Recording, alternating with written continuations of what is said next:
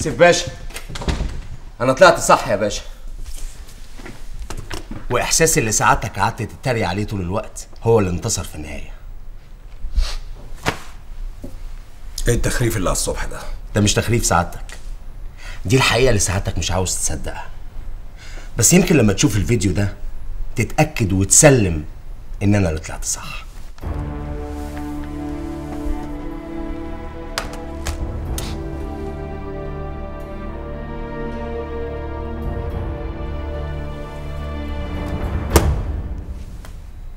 إيه ده؟ ده فيديو الجريمه اللي إحنا بندور عليه. لقيته الهارد. لا. دي نسخة من الفيديوهات اللي كانت على الأرض نسخة. الفيديو. أيوه بس جريمة واضحة قدام سعادتك إنها جريمة دفاع عن النفس مش جريمة إرهاب. وأنا إيش ضمني بقى؟ إن الفيلم ده مش ملعوب فيه. ملعوب فيه إزاي؟ ده فيديو فيديو. يعني صورة حية هيتلعب فيه إزاي؟ هشام في ناس أدرى مني ومنك في الحاجات دي. وما تنساش إن آدم عبد الحي منتمي لمنظمة إرهابية. يعني بالنسبة لهم الموضوع ده في منتهى التفاهة. يعني يلعبوا في الفيلم ويعملوه على مزاجهم عشان يفشكلوا لنا القضية ويطلعوا الواد براءة. هم اللي معترفين إن هم اللي عاملينها. ده بيفتخروا بده وبيعتبروه شهيد. دول ما صدقوا. أنا بقى مش مصدق ومش هصدق. إلا لما يجي لي الهارد المفقود في محضر المباحث. غير كده مش هعترف بأي حاجة. يا باشا الجريمة كلها متصورة قدام سعادتك. عدم وجود الفيديو أكبر دليل على إن الفيديو ده مصور. ما أنت على هنا. البت اللي اسمها نانسي اللي أنت أقنعتني وخليتني اروحها مش جت هنا؟ واستجوبناها وكدبت عليك وعليا البت دي زي ما سعادتك عارف مسيحية؟ تقدر تقول لي إزاي واحدة زي دي ممكن تتعاون مع إرهابي إسلامي متطرف؟ كلهم إرهابيين يا حبيبي. الإرهاب ملوش لا وطن ولا دين. إيه يا شنبيه انت مش من هنا ولا إيه؟ لو التدليس والظلم وإهدار حقوق الناس بقى هم اللي بيحكموا هنا يبقى أنا يا باشا ما يشرفنيش إني أكون هنا. هشام أنت إزاي تكلمني بالطريقة دي؟ أمال عاوزني أكلمك إزاي؟ وأنا شايفك ظالم وبتظلم بريء وقدامك دليل براءته مش عاوز تعترف بيه. باشا أنا ممكن أسألك سؤال. هو سعادتك بالليل. بيجي لك نوم يعني بتنام مرتاح البال. وبالنهار كمان يا حبيبي. وبشخر. الفيديو ده لا أنا ولا انت اللي هنفصل فيه. ده لازم يتعرض على خبير. هو اللي هيحكم ما بيننا. وبعدين بقى خلينا في المهم. البت اللي اسمها نانسي دي يطلع لها قرار اعتقال وتعتقلها دلوقتي حالا. اعتقلها بتهمه إيه سعادتك؟ متورطة معاه. متورطة في إيه بالظبط؟ في الفيديو يا هشام. هو سعادتك اعترفت بالفيديو؟ اصل الفيديو ده لا أنا ولا انت ممكن نفصل فيه. الفيديو ده لازم يجي خبير هو اللي يحكم ما بيننا. ولما الخبير بقى سعادتك يبقى يثبت تورطها ساعتها هبقى اعتقلها. عن اذنك يا باشا.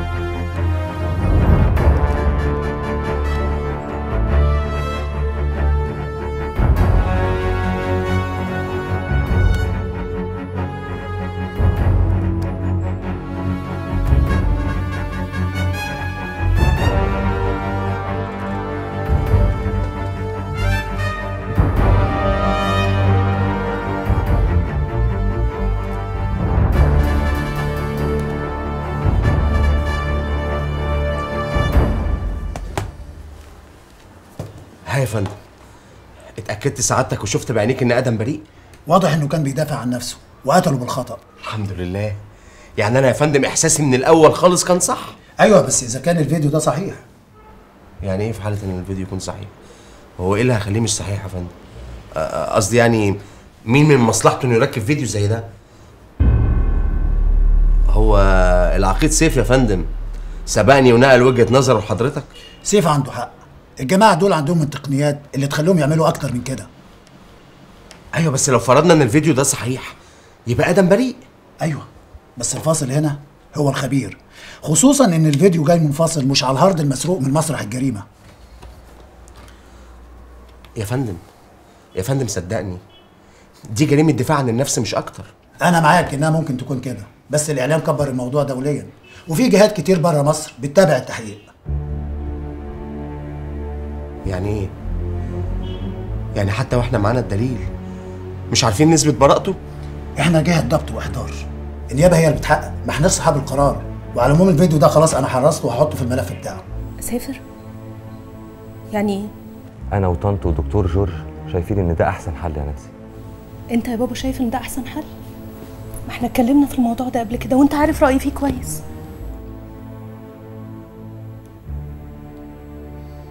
أيوه يا بنتي. بس أنا أب أب ما حلتوش غيرك أنت وأخوكي. وأخوكي راح وما بقاليش غيرك. حطي نفسك مكاني يا نانسي أنا مش بقولك سافري وسيبيه في ورطته لا. إحنا مش قلالات الأصل. أنا بقولك سافري. وأنا مستعد أجيب له بدل المحامي عشرة. انما وجودك هنا. خطر عليكي ولو دخلت في الموضوع ده واتحبستي أنا أنا هبقى في حالة صعبة جدا جدا ومش هعرف أفكر خالص. إنما وأنت في أمان أعتقد إن أنا هقدر أفكر كويس. وبدون ضغط وساعتها هقدر أساعده. باباكي عنده حق يا نانسي. وصدقيني أي حد عاقل لازم يشوف الكلام اللي هو شايفه ده. وجودك هنا أكبر غلطة. صدقيني يا نانسي ده مش وقت عند. الصح اننا وقت الأزمات نفكر بعقلنا مش بعواطفنا وقلبنا. وآدم لما قتل كان بيفكر بعواطفه ولا بعقله؟ أنا لو سمعت كلامكم ده حتى لو كان صح أخسر نفسي. أحس إن أنا بني آدمة أنانية. ما بتفكرش غير في نفسها وبس. الإنسان اللي يتخلى عن حد ضحى بكل حاجة عشانه من غير أي مصلحة يبقى قليل الأصل. ما أعتقدش يا بابا إنك تحب إن بنتك تبقى قليلة الأصل. ولا إيه؟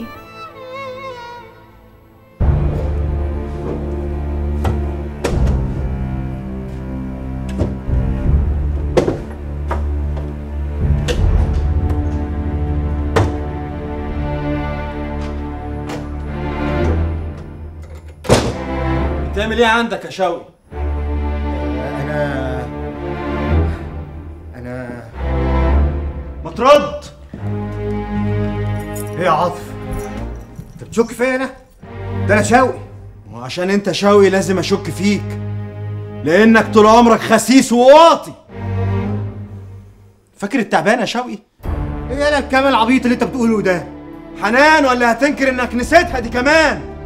عايز تهرب بعملتك السودا وتعكني فيها لوحدي. لكن ده بعدك. وحياة أمي لابلغ البوليس يا شوقي وأوديك في ستين داهية.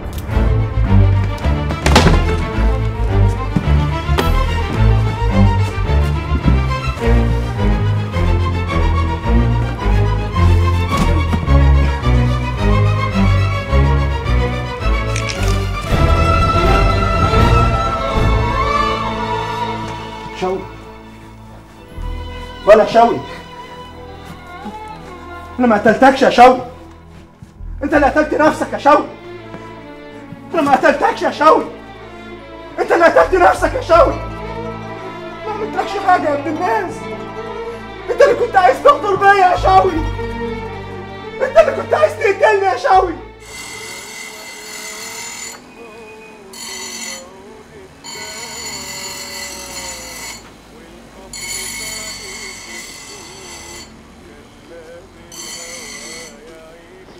هنا. نعم. أهلا بعروسة الهنا. أنت هتهزر معايا؟ يلا غور من وشي بدل ما اطلع همي فيك. همك.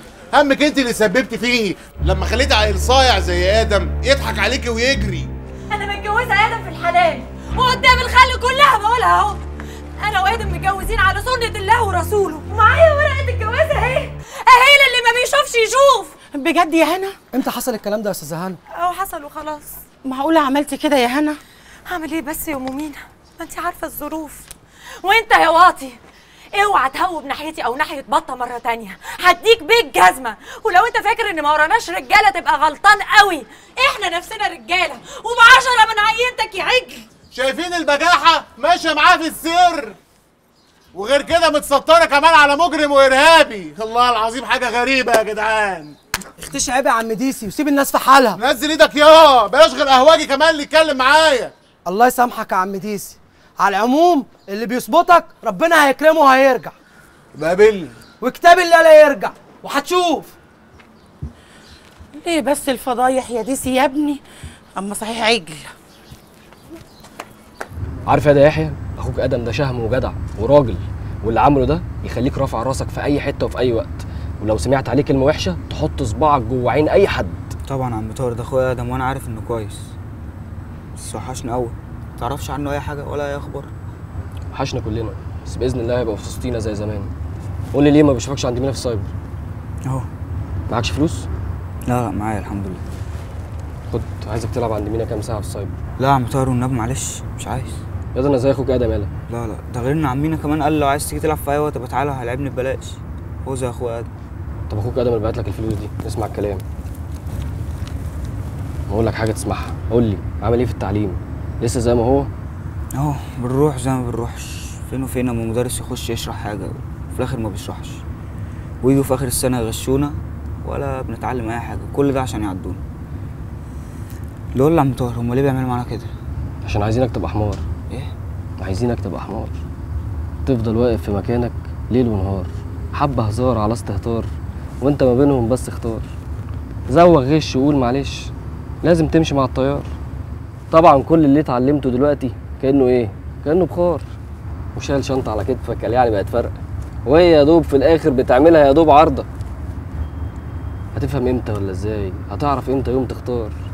مفيش قدامك غير حلين. يا تبقى حمار يا تبقى حمار. هتبقى إيه لا طبعا مش هبقى حمار. جدع يا راجل زي أخوك آدم.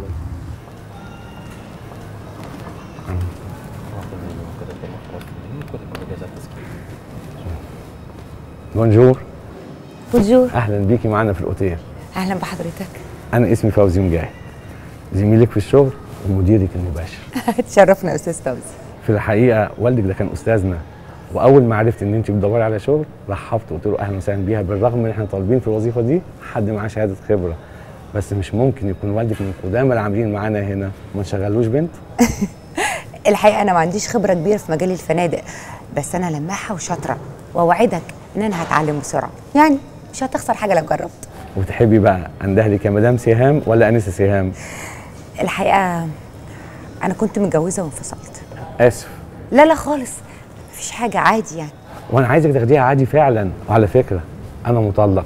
وهحكي لك الموضوع ده بالتفصيل بس في ال break okay؟ نورتينا مرة تانية. ميرسي قوي. السفارة الأمريكية طالبين التحقيق مع آدم بره مصر. بره مصر فين معاليك؟ في أي سجن من سجونهم؟ في أمريكا الجنوبية. نعم. ده لا يمكن يحصل يا فندم. ده بقى عيب معاليك اللي معاليك بتقوله ده. يعني إحنا نشتغل ونخطط ونتعب ونترمي بالليالي بره بيوتنا ونقبض على الولد ونسلمهم لهم كده على الجاهز. ده يبقى ظلم معاليك. وبعدين لا مؤاخذة عايزين ياخدوا بره مصر ليه؟ خايفين يا سيدي لا نطبطب عليه. اكملوا بلدياتنا. يا فندم لو سيبناه يسافر هيتظلم وهنفقده. إنما لو رفضنا طلبهم وطلبنا التحقيق جوه مصر هيبقى تحت عينينا وهنضمن له محاكمة عادلة. على العموم القيادة السياسية لسه ما ردتش على الطلب وده إحنا مستنيين لحد ما نشوف هيحصل إيه. يا باشا يا باشا والله العظيم قتلته بالغلط يا باشا. ده كان صاحبي يا سعادة الباشا وهو اللي كان عايز يقتلني وأنا كنت بدافع عن نفسي والله. ماشي يا عاطف الجريمة دي كانت دفاع عن النفس. وسمير مصالح يا روح أمك كانت دفاع عن النفس برضه؟ مصالح مصالح مين يا سعادة يا الباشا شريف يلا. والأجنبي اللي سرقتوه قتلتوه. الأجنبي لا الأجنبي لا يا سعاده الباشا. إحنا سرقنا آه بس ما قتلناهوش ما قتلناهوش. والله العظيم ما قتلناه يا بيه. والله العظيم ما قتلناه. ورحمة أبويا في تربته ما قتلناه يا سعادة الباشا. للأسف سيف والمدير ما اعترفوش بالفيديو. يعني إيه؟ بيشككوا فيك منه مش على هارد اللي اختفى من مسرح الجريمة. بيشككوا فيه؟ ده فيديو. هي صورة يتلعب فيها بالفوتوشوب طب وده معناه إيه؟ طلبوا يحولوه لخبير وادينا مستنيين رده وربنا يستر. أيوه يعني هو الخبير ده ممكن يرفضه؟ يا نانسي المشكلة مش في الخبير لأنه لو فحصوا أكيد هيكتشف إن هو حقيقي ومش ملعوب فيه. أمال المشكلة فين؟ آدم الأمريكان عايزين يحققوا معاه هناك. نعم. المشكلة بقى لو رد الخبير اتأخر ده مش في مصلحتنا. لأنه ممكن يوافقوا إن هو يروح هناك عشان يتحقق معاه. ما أنتوا عارفين النظام بتاعنا. يا نهار أسود. طب دلوقتي الحل إيه؟ مش عارف. أنا كل اللي حاسس في نفسي ومأثر فيا إن أنا اللي قلت له يسلم نفسه. أنا اللي قلت له إن ده الأسلم ليك. أنا اللي وعدته. إن أنا هقف جنبه وهساعده لغاية لما أثبت براءته. صدقني. صدقني. يا ريتك ما نصحته ويا ريته ما صدقك. هلاقيها منين ولا منين بس يا رب؟ كويس إنك عديتي عليا في الشغل قبل ما تروحي. أنا قلت أعدي عليكي بدل ما تروحي لوحدك. أهو نونس بعض في الطريق. كتر خيرك يا سامي. المهم طمنيني. انت عاملة إيه دلوقتي؟ والله مربوطة في ساقية. ما بين الشغل وتربية ابني. هو طريقك لسه مضايقك؟ ما تجيبليش سيرته والنبي يا هنا. اللي عايش على قفايا طول الوقت. قاعد بس يلف لي في حشيش هو ده اللي فالح فيه. يا أختي بركه إنك خلصتي منه بلا قرف. الحمد لله. بس أنا اللي حرق في قلبي ابني. حاسة كده إنه هيتربى من غير أب. زي ما يكون يتيم. بس انت طبعا لا يمكن ترجعي له عشان الواد. ابدا. قطعه وقطعة سيرته. جدعه يا بت. بقول لك إيه يا سامية؟ أنا عايزة أطلب منك طلب بس اوعي تكسفيني.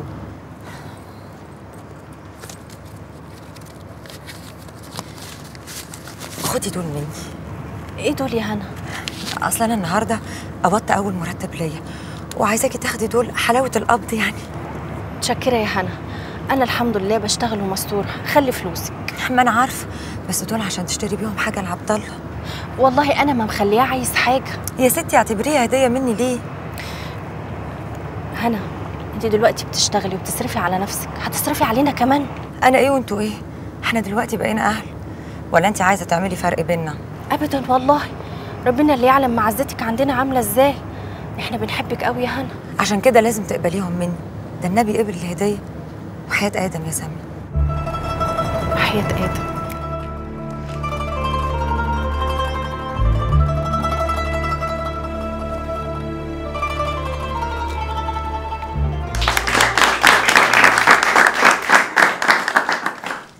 يا جماعة في قصيدة النهارده عايز أسمعها لكم. القصيدة دي وأنا بكتبها كنت موجوع قوي بتقولي القصيدة دي بقى؟ اسمعيني يا مصر مرة عندي ليكي كلمتين. اسمعيني يا مصر مرة ريحي جرح السنين. حل دمعة آه مرة حايشة يوم ضحكة حزين. حل دمعة آه مرة حايشة يوم ضحكة حزين. لو عيون الطفل لمعة ألقى صدر الكون براح. وإن لمحت في عينه دمعة ترتعش فيا الجراح وقت ليلك ببقى نور وقت ضعفك ببقى نار. يجي ليلي تبني سور حايشة بيه عني النهار. هو يعني أنا مش ضناكي أعمل إيه علشان رضاكي؟ ببني فيك سنين وأعلي وإنتي هدماني تملي. مستحيل ترضي بذل ولا ذل ليكي رحمة؟ هو ذل ليكي رحمة؟ عر كتف تلاقي وحمة. لونها لونك مش بلومك بس بصرخ من اللي فيا ألف آه. ألف آه حايشة مدارية ألف آه.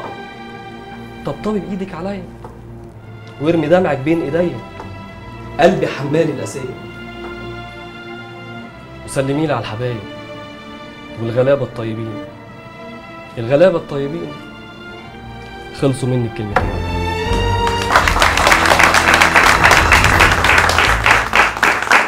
جماعة طبعا أنتوا عارفين إن الكلام ده مش لمصر ولا لشعبها ولا لأرضها. الكلام ده للنظام اللي بيمثلها وللأسف بيمثلنا النظام الفاسد. النظام الظالم اللي محسسنا بالغربة وإحنا جوه بلدنا. وأكبر دليل على كده آدم عبد الحي الشاب المصري الشهم الجدع اللي رفض يدي ظهره للغلط ويقول أنا مالي ودافع عن شرف أخت لينا من غير ما يعرف هي مين ولا حتى يعرف إيه ديانتها والمفروض إن آدم كان بيعمل الصح لكن الصح في وجهة نظر النظام إرهاب. ولو كان آدم في نظرهم إرهابي ففي نظرنا إحنا شاب مصري شهم جدع. وده مش غريب ولا جديد على رجالة البلد دي. وبالمناسبة دي يا جماعة أحب أعرفكم بالعضو الجديد في الجمعية كريم كارم أبو المكارم. نانسي. نانسي يلا بينا نروح دلوقتي. أنا أنا جبتك هنا علشان تهدي وتقدري تمسكي أعصابك شوية بس مش مفروض نقعد هنا أكتر من كده. كفاية اللي أنا فيه. أنا بقيت غصب عني حاسس إنك معرضة للخطر باستمرار في كل لحظة بتمر بينا. مش هروح يا بابا. مش هروح ومش ههدى غير لما أعرف اجابات على حاجات كتير قوي جوايا. إجابات؟ إجابات إيه اللي عايزة تعرفيها ليه القوي بقى دايما بينتصر على الضعيف؟ وليه أصلا الخير بقى دايما ضعيف؟ هو إيه؟ هو الكلام ده مش موجود غير في الأفلام وبس؟ يعني الحقيقة ما فيهاش عدل؟ الحياة الحقيقية اللي إحنا عايشين فيها دي ما فيهاش عدالة؟ قول لي يا بابا عشان لو كده يبقى أنا أكرم لي أموت أحسن. يا بنتي أرجوكي أبوس إيدك ما تخليش غضبك يفقدك إيمانك بالرب. طب آخرة اللي بيحصل لآدم ده كله إيه؟ صدقني يا بابا أنا بقيت بجد بندم إنه ساعدني. بقول يا ريته كان اتخلى عني ما كانش زمانه بجد في اللي هو فيه ده كله. لا لا لا لا نانسي ما تقوليش كده. ده شيء طبيعي جدا بالنسبة لشاب شهم نبيل زي آدم.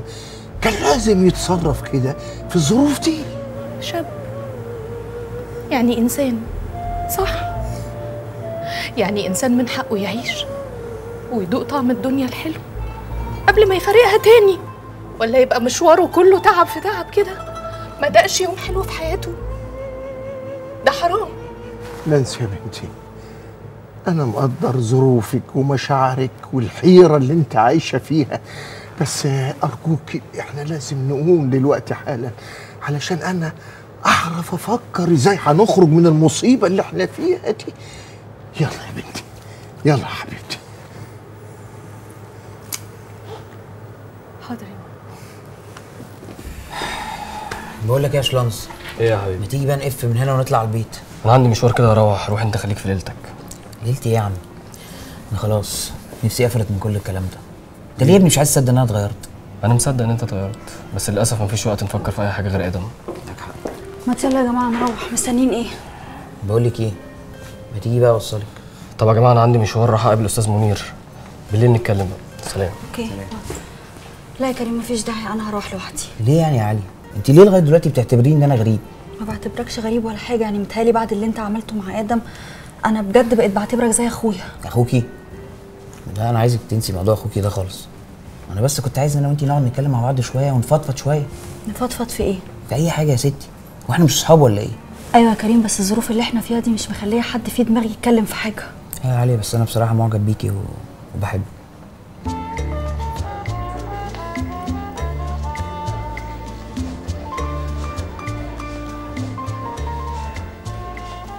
حسيت إني مخنوق. محتاج أفضفض مع حد قبل ما أرجع تاني الجهاز. مالك يا هشام؟ شكلك مش عاجبني وصوتك جابني على ملا وش. تعبان قوي يا بابا.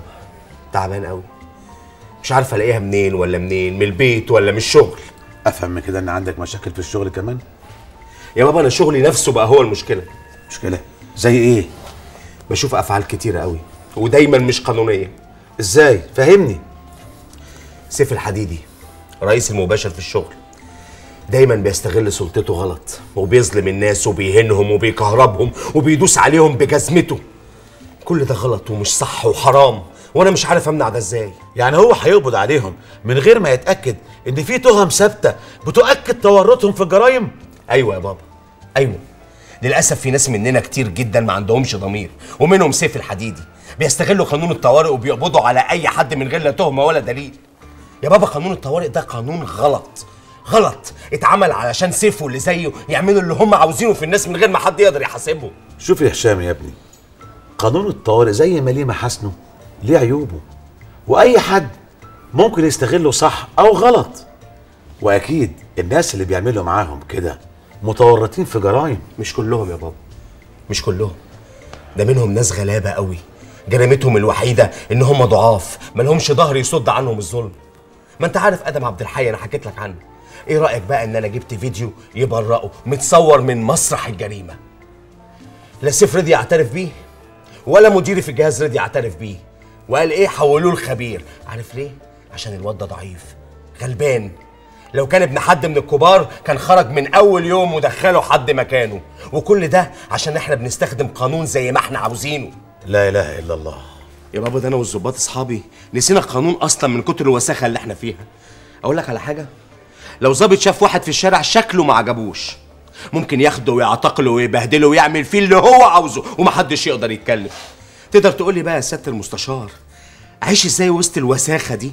وحتى مش قادر أتكلم. يا بابا يا بابا أنا حاسس أنا حاسس إن أنا بعوم ضد التيار. مش عارف هعافر لحد إمتى. أكيد في لحظة هتيجي ونفسي هيتقطع وهغرق.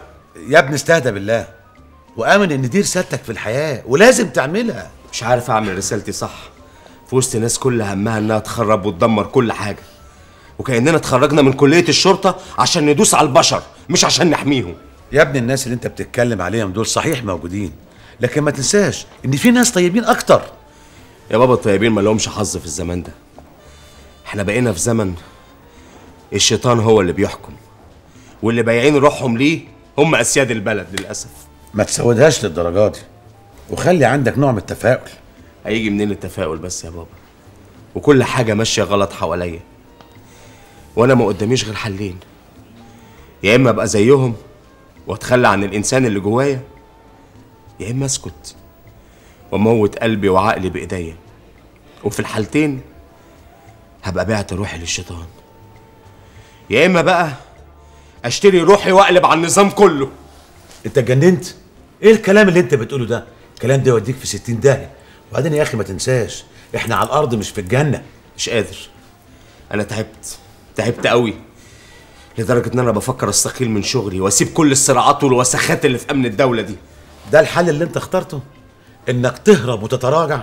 ده بدل ما تواجه وتنصر الخير على الشر. أواجه إيه بس وأنصر إيه؟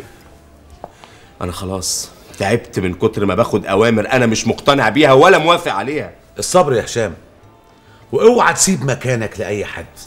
ولو أي حد كويس يئس وساب مكانه الدنيا هتبقى خرابة. إحنا عايزين عايزين نتغير للأحسن. ربك كبير وموجود يا ابني. ربك كبير وموجود.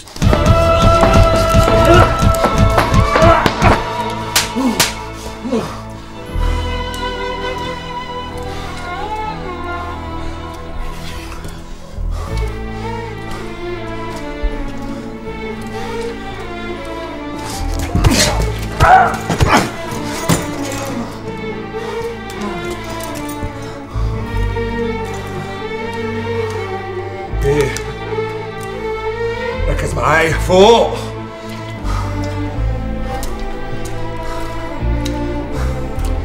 إيه؟ معاك للصبح. ليه يا حبيبي؟ معاك للصبح. ماشي. عارف يا آدم هما هنا بيغموا عيونهم ليه؟ عشان بيخافوا منكم لما تخرجوا بره. يتخاف منك. ولا انت خارج بره بس أنا واخد على خاطري منك. ليه بس؟ مش طمني عليك. قلبي ياض كان متشحتف عليك. ها؟ مش طمن قلبي بابا. عارف يا باشا أنت بتفكرني بمين؟ في مين يا روح أمك؟ في واحد زمان ساكن عندنا في المنطقة. اسمه حمادة عجل.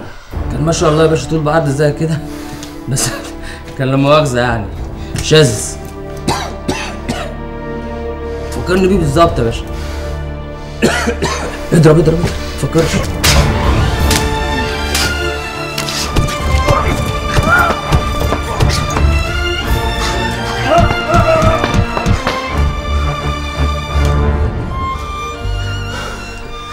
بقول لك يا باشا مفيش كهرباء. كهرباء وحشتني والله. عينيا. أول مرة تريح شوية. إيه إيديك وجعتك ولا إيه؟ أجيب لك مسكن؟ اضرب أنا عايز أمك أنا. تعرف تبعت تجيبها لي؟ عايز أفهم. رد عليا مش عايز تعترف ليه؟ مين اللي كان معاك جوه يالا؟ أنت المشكلة يا باشا مش عايز تسمع أنت عايز تسمع على مزاجك وبس أنت عارف يا باشا شكلك كده يعني كان عندك عقدة نفسية مؤاخذة يعني حصلت لك وأنت صغير فبتطلعها على خلق الله صح؟ موافقني في الكلام ده؟ دلوقتي تعرف أنا حبك دلوقتي تعرف افتح الميه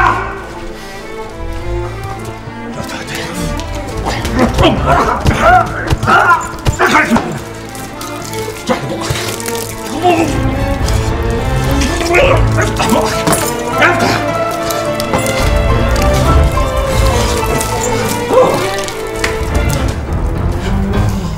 عايز تكهرب على أمك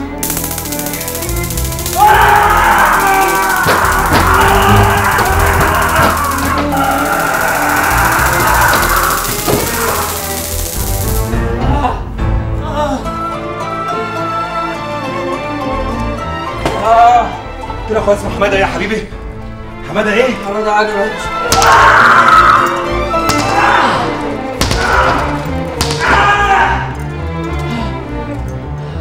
ابعت أجيب لك مسكن إيه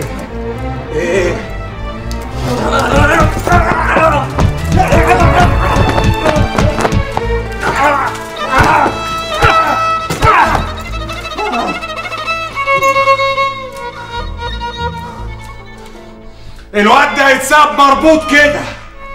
وبقى تف في وش روح أمك. لو شفت الشارع تاني. افتح